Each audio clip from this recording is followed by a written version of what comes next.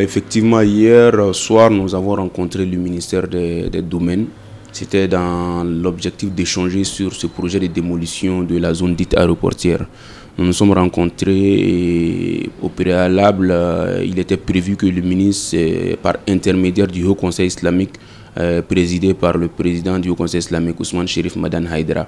Ils étaient tous présidents, quatre personnes de la délégation. Et nous, nous étions au nombre de 15 personnes. Tous les chefs de village des neuf quartiers concernés étaient représentés, ainsi que les victimes des, différentes localités, ainsi que les représentants des, des, des, quartiers ciblés pour la démolition. Nous nous sommes vus, nous avons échangé. Malheureusement que le ministre n'a pas pris part à la rencontre. Mais il y avait une délégation du ministère qui a, qui, a présidé la rencontre. Nous avons dit qu'est-ce que nous pensons de cette, ce projet de démolition, notamment l'aspect social. Et nous avons vu des contre-vérités dans le communiqué du gouvernement qui a dit que tous ceux qui ont été victimes de démolition étaient déjà avertis avant le, avant le commencement des, des, démolitions, chose qui n'était pas la réalité. Parce que nous, avons, nous étions avec des victimes avec nous qui avaient des preuves sous la main, des, des, des, des sommations qui ont été remises après démolition.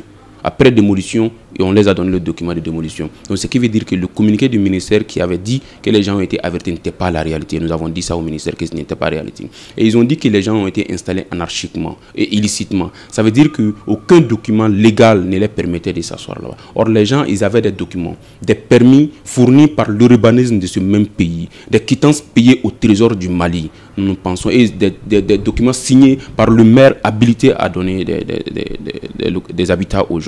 Donc, voilà les preuves qu'on avait. Et après avoir avancé toutes ces preuves-là, nous avons donné notre validation.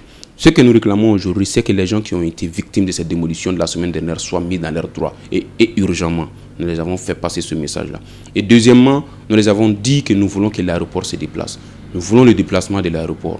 Aujourd'hui, ce problème-là, c'est dû à l'aéroport. Nous pensons que l'aéroport a été un projet de développement qui n'est pas mieux que les citoyens maliens. Donc, nous avons donné notre inquiétude sur la présence même de l'aéroport dans cette zone-là. Pendant des années, depuis 1995, ce même problème est en cours. Donc, nous pensons qu'aujourd'hui, il faut chercher une solution à ça.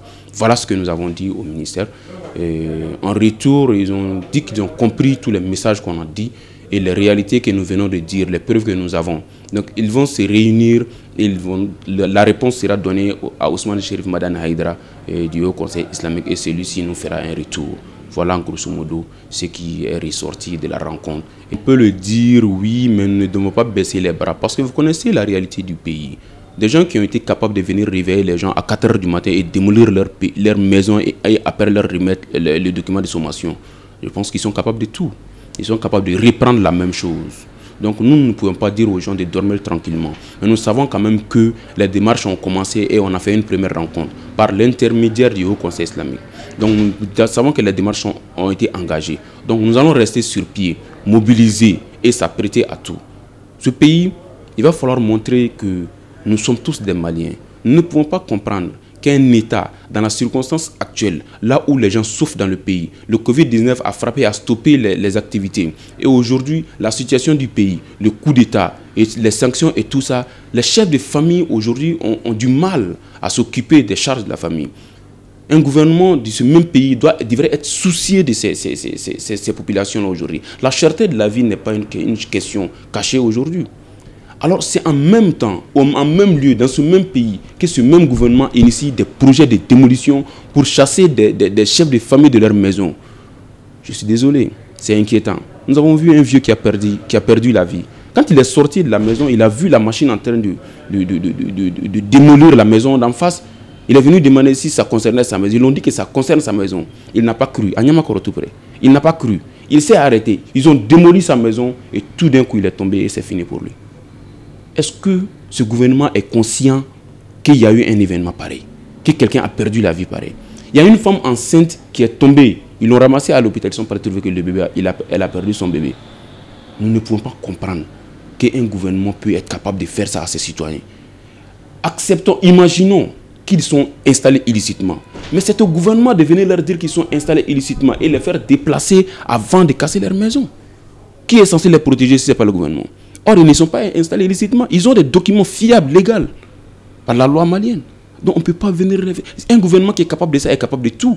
Donc c'est pourquoi nous ne pouvons pas dire aux gens de dormir tranquillement. Nous ne savons pas qu'est-ce qu'ils peuvent faire demain. Parce qu'ils nous ont montré qu'on ne peut pas compter sur leur fiabilité. On ne peut pas compter sur eux. Donc c'est pourquoi nous demandons aux gens de rester mobiles, de rester debout comme nous le sommes jusqu'à présent. Jusqu'à preuve du contraire, ils n'ont pas donné de réponse. S'ils avaient dit que c'est fini avec la démolition, ils vont arrêter le projet, on pouvait dire aux gens de dormir tranquillement. Mais ils n'ont rien dit. Ils ont juste dit qu'ils ont compris le message que nous venons de passer et les revendications que nous avons. Ils vont se réunir et la réponse sera donnée au Conseil islamique.